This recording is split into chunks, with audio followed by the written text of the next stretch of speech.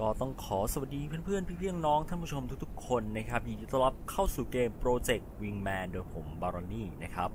ก่อนอื่นเลยต้องขอต้อนรับท่านผู้ชมที่ติดตามผม ไม่ว่าจะเป็นท่านผู้ชมที่ติดตามผมมาตั้งแต่คลิปก่อนๆนะหรือว่าเพิ่งจะมา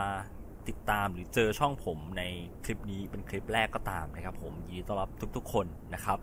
สำหรับซีรีส์ Project Wingman นี้นะ ผมเนี่ยตั้งใจว่าจะทำเป็น ซับไทยนะครับผมแปลเนื้อเรื่องเป็นภาษาไทย แต่ว่าจะไม่ใช่ภาคนะครับเป็นซับเนาะเพราะว่าผมจะทำไปในแนวของการเล่นไปด้วยนะครับ แล้วก็นั่นแหละ คือผมไม่สามารถเล่นไปด้วย แล้วก็ภาคไปด้วยได้ไงมันมันมันเกินความสามารถของผมเกินไปนะครับก็เลยใส่ซับแทนดีกว่าเนาะแล้วผมก็คิดว่าการใส่ซับอะมันน่าจะทำให้แปลเนื้อเรื่องได้ครบถ้วนมากกว่าการภาคนะครับ ก็ขอให้เข้าใจจุดนี้ด้วยเนาะ เกริ่นคร่าวๆนะครับสำหรับเกมนี้นะ Project Wingman เป็นเกมแนว Flight Arcade นะครับ พูดง่ายๆก็คือเป็นแนวขับเครื่องบินนะ แต่ว่าจะไม่ได้มีความสมจริงมากเท่าไหร่นะครับ คือมันจะตัดความสมจริงบางอย่างออกไปเนาะ ก็เอาละครับ ไม่พูดพร่ำทำเพลงมากฮะ ไปลุยในส่วนของแคมเปญหรือเนื้อเรื่องกันเลยครับผม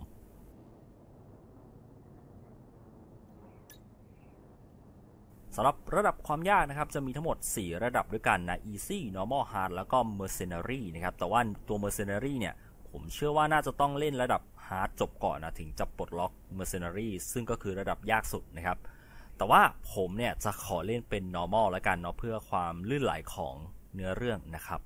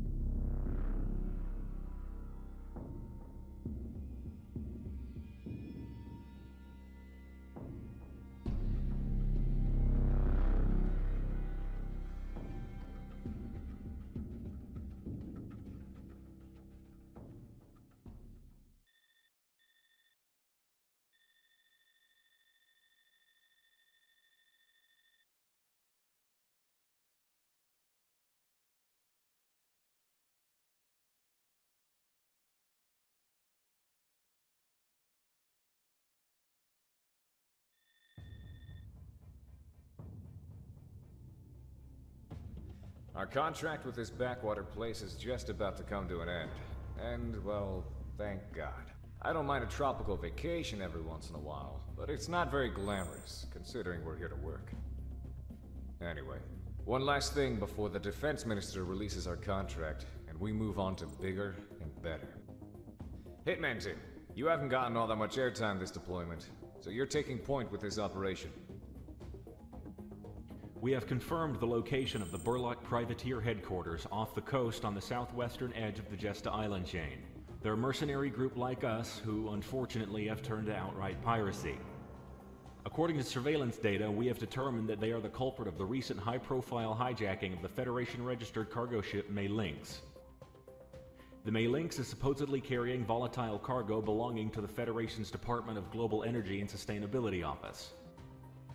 Nothing specific from the Federation contact about the cargo, however, our orders are to retrieve it if possible, or to neutralize it if we can't. Attempts to negotiate for it have turned up with nothing, so we're going in. Hitman Team, you are to approach the island from the south along with support and establish control over the area. Your objective is to eliminate any surrounding anti-air and resistance on the island. After that, secure an LZ for our operator group Ronin to ascertain the cargo.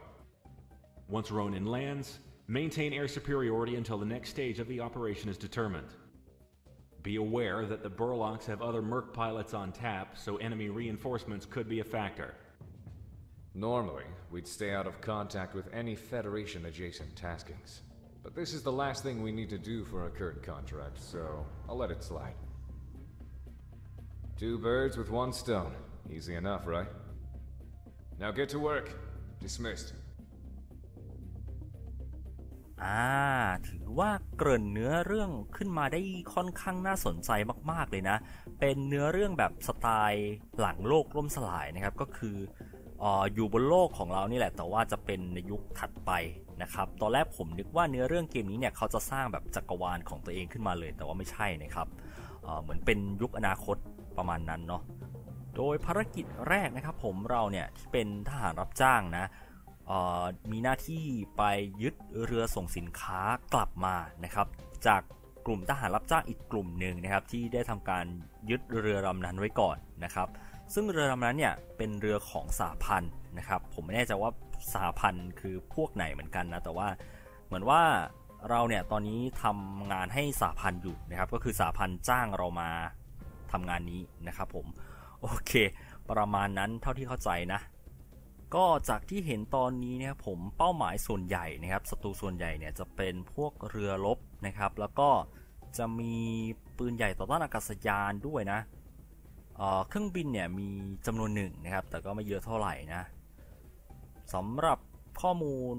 ทางด้านซ้ายบนนะครับเขาบอกว่าชื่อยุทธการ Red Current นะครับ หรือว่าแปลเป็นไทยก็ประมาณว่าเกลียวคลื่นสีแดงประมาณนั้นนะครับ เวลาของภารกิจก็คือ 1605 นะครับ หรือ4โมงประมาณ4โมงเย็นนะครับ เพราะฉะนั้นก็น่าจะค่ำๆหน่อยนะภารกิจนี้นะครับ เอาละไปลุยกันเลยดีกว่าครับผม start mission ครับผม แต่เดี๋ยวก่อนเรายังไม่ได้เลือกเครื่องบินเลยนะ อ๋อ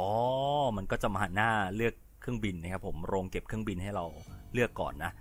มีเครื่องบินทั้งหมด 3ลำด้วยกันนะครับที่21 แล้วก็ TF4 นะครับ แล้วก็ MG21 นะเอ่อผมจะขอเลือกเป็นเจ้า TF4 แล้วกันนะครับในภารกิจนี้เพราะว่าคลิปก่อนหน้านี้ครับคลิปลองเล่นผมได้เลือกเจ้า MG21 ไปแล้วนะครับ เพราะฉะนั้นเนี่ยผมจะขอเล่นเครื่องบินลำอื่นบ้างเนาะ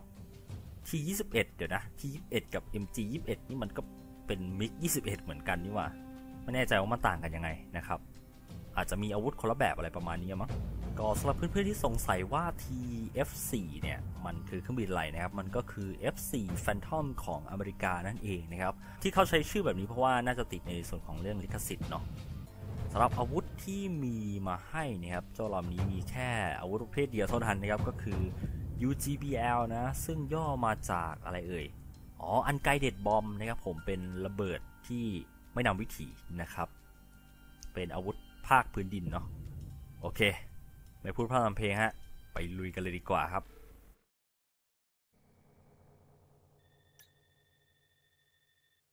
อ่าเขาบอกว่ากด start นะครับเพื่อเริ่มภารกิจนะ ก็ถือว่าเป็นเกมที่โหลดไวใช้ได้เลยนะครับ ก่อนที่เราจะไปเริ่มกันผมบอกไว้ก่อนนะว่าผมใช้จอย Xbox 360 นะครับ ในการบังคับเครื่องบินเนาะเกมนี้เนี่ย support เมาส์กับคีย์บอร์ดด้วยนะครับ ไปกันเลยฮะ ละครับ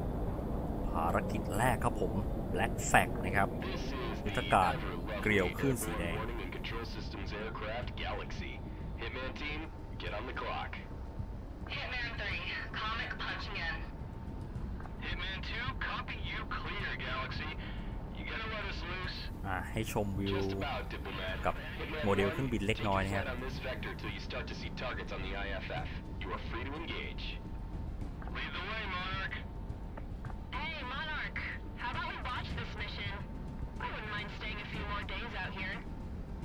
have you on record saying that, Prez. Don't be a snitch again, Galaxy. Hitman 1, Monarch and Prez, ready to roll? Alcon, we're engaged. Rack them up and knock them down. โอเค ผมพยายามจะไม่พูดทับกับที่ตัวละครเขาพูดกันแล้วกัน เดี๋ยวขอทดสอบความพริ้วของเครื่องบินหน่อยนะครับ โอ้ถือว่าควงได้ค่อนข้างพริ้วดีนะ ก็เท่าที่ผมเข้าใจนะครับเราคือฮิตแมนหนึ่งนะครับเป็นจ่าฝูงของหน่วยฮิตแมนนะครับเดี๋ยวจะลองเล่นในโหมดคอกพิทดูนะ ผมว่าคอกพิทเกมนี้เขาทำสวยมากๆอะดูดิ ไฟนี้จัดเต็มมากเลยนะครับ ไม่รู้ว่าความสมจริงนี่สมจริงขนาดไหนนะครับ ปุ่มอะไรเงี้ย แต่ว่าผมว่ามันก็มันก็ดูสมจริงดีนะ ถึงจะไม่เคยเห็นของจริงก็เถอะ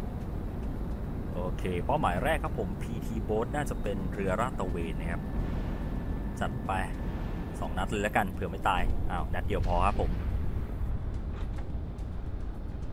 น้ำหนักการบังคับเครื่องบิน ผมว่าใช้ได้เลยนะ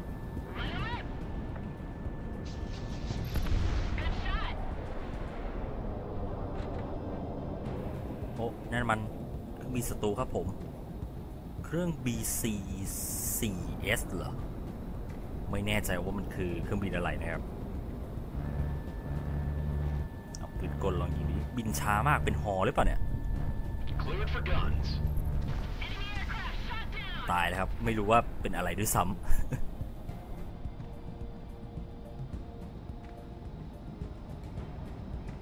เฮ้ย ผมชอบนะ ตรงกระจกห้องนักบินมันมีแบบ มีแบบรอยขีดข่วนด้วยนะครับ Right on target. หรือว่ารายละเอียดนี่ใช้ได้มากๆนะอ๋อแล้วก็เกมนี้เนี่ย support ในส่วนของ VR ด้วยนะครับผม Missile away. ถ้าใครมี VR นี่น่าจะได้รับประสบการณ์การเล่นที่แบบจัดเต็มมาก ๆ เลยนะครับ ซึ่งผมไม่มีนะ น่าเศร้ามากนะครับ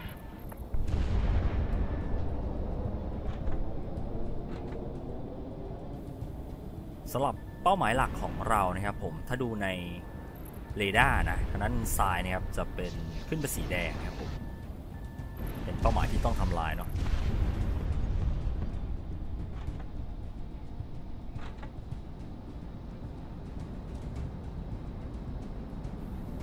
เดี๋ยวผมเริ่มเก็บไอ้พวกป้อมปืน AA กันทั้งหมดก่อนนะครับหน่วยภาคพื้นดินของเราจะได้ ลงจอดได้นะ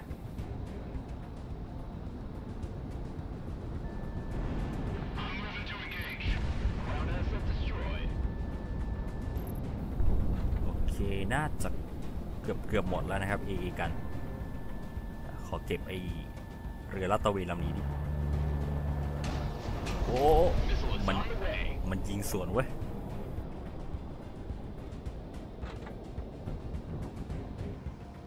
เดี๋ยวลองเปลี่ยนมาเล่น third person บ้างนะครับ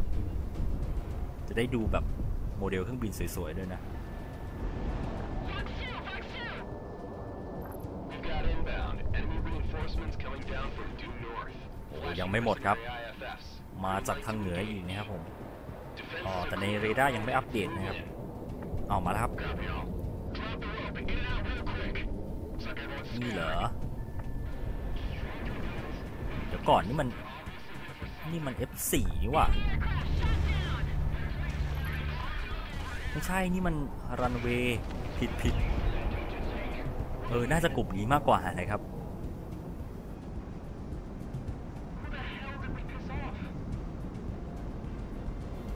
ความเร็ว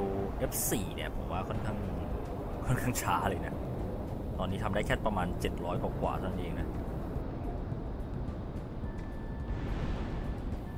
แสกหน้าไป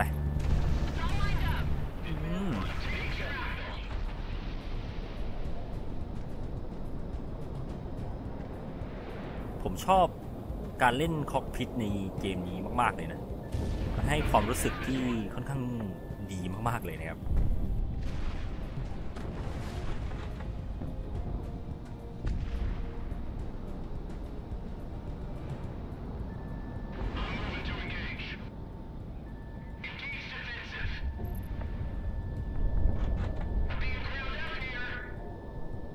นี่นะเป็นลำสุดท้ายแล้วนะครับ I'm on the right group. อ้าวยังไม่หมดยังไม่หมดมีเหลืออีกลำนึง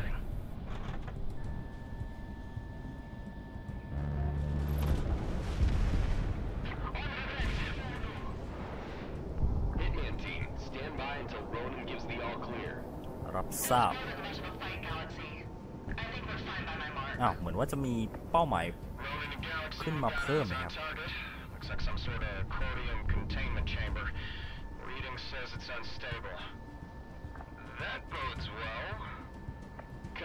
เหมือนเป้าหมายพวกนี้จะไม่ให้เรายิงหรือเปล่าเพราะว่า Have to keep an airship powered มัน from ไม่ใช่สีเขียวอะ our sensors.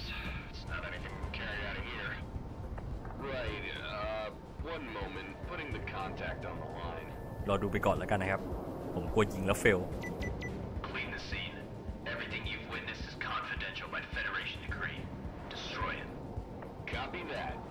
Ronin exfiltrate. You heard that, Monarch? Highlighting a new target on your IFF. Blow it when they're out. รับทราบครับ เหมือนว่าจะทำลายให้หมดเลยนะครับ เฮ้ย เดี๋ยวเดี๋ยวเดี๋ยว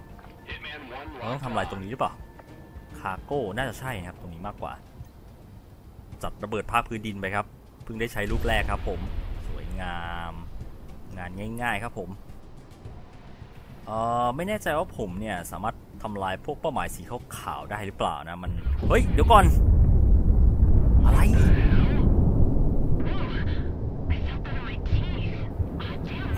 โอ้โหมันระเบิดเวอร์วังอลังการแบบนั้นเลยเหรอ ดีนะผมไม่ไปบินใกล้ๆเมื่อกี้ลองทำลายพวกเป้าหมายพวกนี้ดูนะครับ เหมือนจะได้คะแนนนะ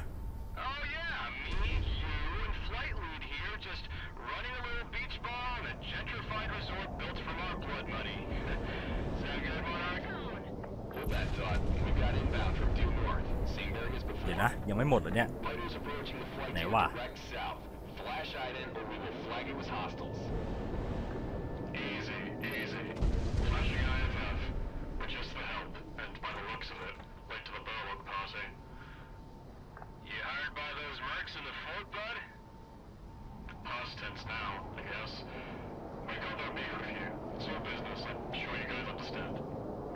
for me.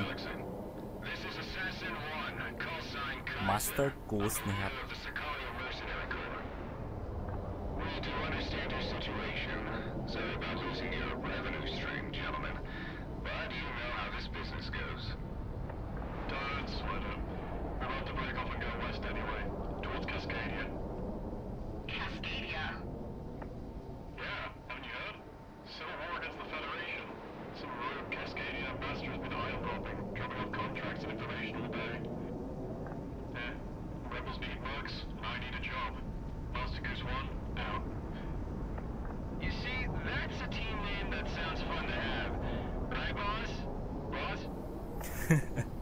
อ๋อ เป็นอย่างนี้นี่เอง War in Cascadia? Interesting. ผมว่าผมชอบความสัมพันธ์ระหว่างพวกเอ่อทหารรับจ้างนะเขาดูแบบชิวๆกันมากเลยนะ โอเคครับ จบภารกิจนะครับผม The money came through from this contract, and our opportunities in this region have just about dried up. If no one objects, and your contract with Sicario is still in effect, pack your bags. I looked a little into the Cascadian situation, and I believe we'll make a little something of ourselves there. อะก็จบลงไปเรียบร้อยแล้วนะครับ กับภารกิจที่1นงนะครับผมเนื้อเรื่องเนาะถือว่าเปิดขึ้นมาได้ผมว่าน่าสนใจมากๆเลยนะ ในส่วนของทีมทหารรับจ้างนะครับ ในส่วนของภารกิจต่อไปเนี่ยผมเชื่อว่าบริษัทของเรานะครับ น่าจะเดินทางไปที่แคสเคเดียนะครับผมเพื่อไปหางานทำที่นั่นนะ ก็เดี๋ยวเรามาลุ้นกันว่าจะเป็นยังไงต่อไปนะครับ อย่างไรก็ตามครับขอบคุณทุกคนมากๆนะที่เข้ามารับชมคลิปนี้นะครับ แล้วก็อย่าลืมติดตามคลิปซีรีส์ Project Wingman ในคลิปถัดๆไปด้วยละกันนะครับสำหรับวันนี้ผมมารานี่ขอตัวลาไปก่อนครับบายฮะ